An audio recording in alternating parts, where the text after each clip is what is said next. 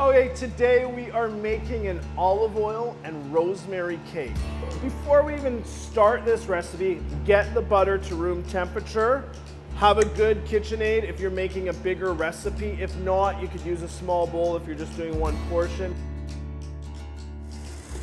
We're gonna go for two minutes on a medium speed to get this all creamed together nicely. Okay, so when we add the olive oil, use an olive oil that you typically like because that flavor profile is really gonna come through after we bake it.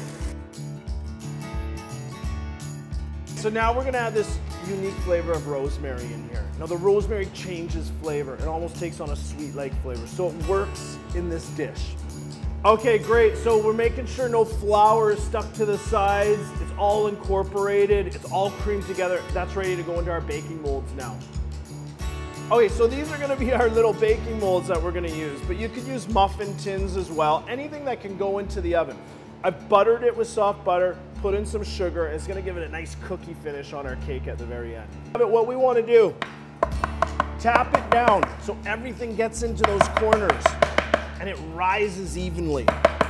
Part of your work in the kitchen is always remembering that you need the oven preheated for later. So it's at 325, do that before you start the cakes, and then it's done and ready to go.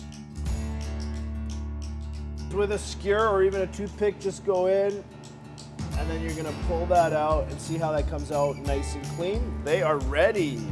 When the cakes come out, give them a little bit of time, three, four minutes. When they're manageable to hold, we're gonna put them onto our wire rack and allow them to cool down. And look at that, nice and clean. And we're just put that, place that on top of our wire. Cake. Now I'm not a pastry chef by trade, so when I do play around with pastry, I wanna make sure it's a good recipe that works. And trust me, this one works.